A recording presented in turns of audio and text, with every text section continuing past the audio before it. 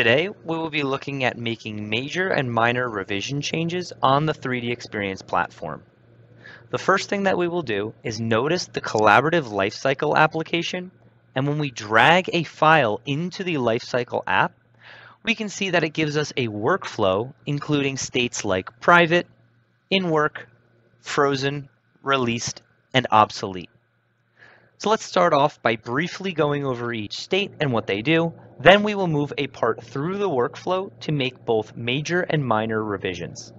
If you're interested in learning more about each maturity state, check out our blog that is linked in the description below. Our lifecycle starts in the private state. In this state, the owner is the only person who's allowed to edit that file. Other people can see the files in the private state, but if you're not the owner, you're unable to lock the file and make changes. Next is the in work state, and this is the default state that a new file goes to when it's saved to the platform, and it allows for editing when the file is locked. We then have a frozen state, and this is used for when designs are finished, but they're waiting to be reviewed before actually releasing them. Then we have the released state, and this is when files are approved and ready for production. Lastly, we have the obsolete state. And you can think of an example for maybe when you have files that you may not want to delete because they're being referenced in existing assemblies, but you also don't want engineers referencing them in any new assemblies going forward. So an example of this could be maybe a discontinued vendor part or something like that. After talking about each state of our life cycle, here's a quick graphic to understand the revision scheme. We can see that when we are in the released state and move that back to in work, this creates a new major revision. While if the file is either in work or in a frozen state, and we create a new revision in those two states, that will create a secondary revision increment or a minor revision. So in today's example, we'll see what it looks like to make a major and minor revision change on this wireless router part. I will add a new logo to the router top part and make some minor revisions along the way. Notice if I drag this over, these files are already in the released state, so we will make a new revision of this file, which will be moved to the in-work maturity state. Notice that these files are already at revision A1. When I make a new revision, they will not only be moved to the in-work state, but they will be at revision B1, because anytime you make a new revision of a file that is in the released state, it creates a major revision.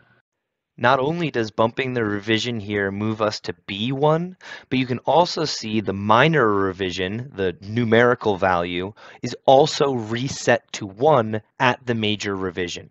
For example, if you were at A4 and we bumped up to the next revision, we would be at B1, and we can go to B1, 2, 3, 4, until we get to the next major revision. So again, this router top file is the one that I wanted to make a change to. I can see router top here. Not only do I have to make a new revision of the router top file, but the assembly that it's a part of, as well as the top level assembly. I'll right click on these files and choose new revision.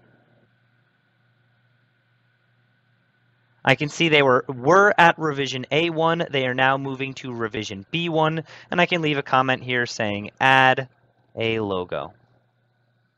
And I'll press revise. Once the revision is successful, I can see that these files have now been moved to revision B1, a major revision change. And I can see this icon is indicating that they need to be saved to the platform. So I'll right click and I'll choose Save with Options. Using Save with Options allows me to tag it with a bookmark so that I can be able to find it easier later. So I'll select for my bookmark here, I'll select 3DX router demo and I'll press save. Now that the files are saved, they are locked by me and I can go ahead and start making my changes. So really quickly, I'll go ahead and I'll make these changes. And let's say that this took me a long time to get this surface body created, and maybe I just wanted a quick little milestone or a minor revision. So notice that the file is still in the in work state. By right clicking and choosing new revision while the file is in either the in work or frozen state, this is going to create a minor revision. So I can see this is going from B1 to B2.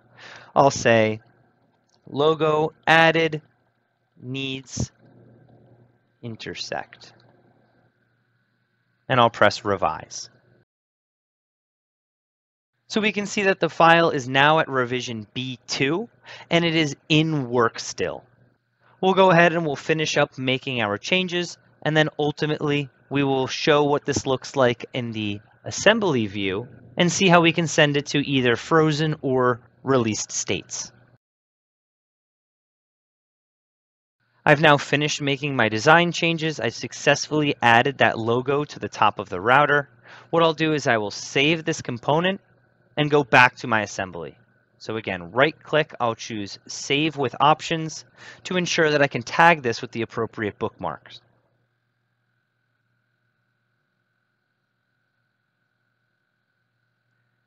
Since I'm done working on this file, I'll go ahead and I'll choose Unlock after saving to allow anybody else to work on this if they needed to. I'll close out of this file and go back to my assembly. So I'll go ahead and I'll save these top two files here. Again, tagging them with the appropriate bookmark.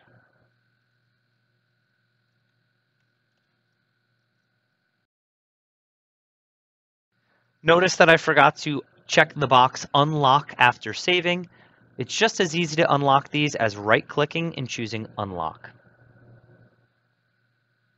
Now that my files are in a major rev B from going from released back to in work, I can see my router top component is at B2 because we've incremented the revision in the in work state as well.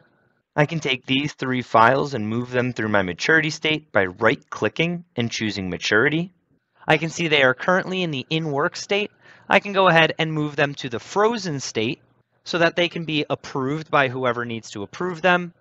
If they notice anything needs to change in the frozen state, we can always create more minor revisions in the frozen or in work states. And then when we are done, we can go ahead and move these to the released state where they will stay at their current revision until a new one is made, which would again be a major revision.